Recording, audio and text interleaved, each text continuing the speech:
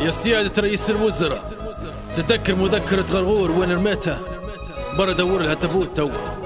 ودير الحولة كان تقدر نايت قبل الفجر يا ريت من أجل الأجر. راجمات والرمانات قاعدة تهبط وتتفجر هيا سجل سداجة النماذج اللي قاعدة تدور على أساس قاعد تايش هذا كلاش ندور. من اول شوف ما يجرب الأجر بحظه يسحب ويضرب قالك قاعدين الخضر يطلعوا بعد المغرب يسطرب وينقص يبي يطلعهم من الضيق في التعلوبة فوق المرشا بيت يحول من الطريق. تبي ترد توليله وهو مسلح ومكلوب. شم الديلة لما يبدأ يرمي معبي بالحبوب. المفروض بعد أسبوع بدموع نادم للهم. ما هو كلنا ليبيين. وما نبوش الدم. كم من كف فتكناه وفكيناه وتكينا على كتف واحد بكتف ويحلف لك بتكينا الحكاية هذه الشينه حكيناها راه لنا عيانة. اللي مش قادر عليها يقولها وينه وطريقة زينة. حايل مني داير روح الداير بالتكبير. محلل التركيز من بداية التحرير. وتوصل الصمود للحروب شو بيصير ولما يصير الدم؟ شكون حيقعد الاخير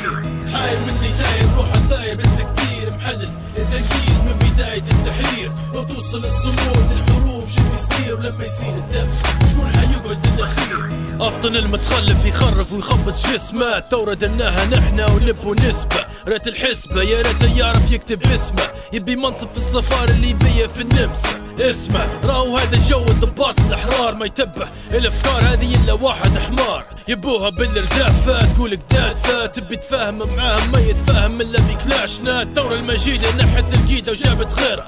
ناقص غير يقول متطحلب ثابت خيره متخوخم ونحك في راسي نبي نفهم اللي صاير. الثوري ولا داير سبتمبر ولا فبراير. راهو نقزوا من جديد الرجعية ولا الزلام المؤتمر الشعبي ولا الوطني العام. لكن زمان ما حد فيكم كان يفكر في الهدام. بعد الحكومة ولا ضعيفة وليتوا كلكم شجعان. حايل مني داير روح الداير بالتكبير. محلل التركيز من بداية التحرير. وتوصل الصمود للحروب شو بيصير؟ ولما يصير الدم شكون حيقعد الاخير حايل محلل. التركيز من بداية التحرير. وتوصل الصمود ولما يصير الدم.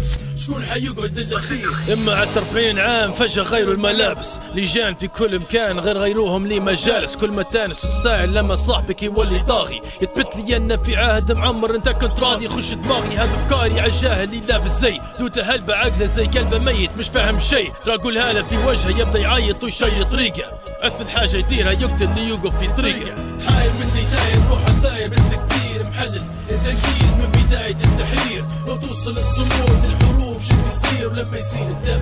شكون حيقعد الاخير حايل مني داير روح الداير بالتكبير محلل. التركيز من بداية التحرير. وتوصل الصمود للحروب شو بيصير ولما يصير الدم؟ شكون حيقعد الاخير الكلام هذا كاتبه لي أكثر من عام. باش ما نكثر الكلام. كلنا أولاد تسعة ما حد خير من التاني قداش لينا بعد التحرير وقاعدة ليبيا تعاني. ويا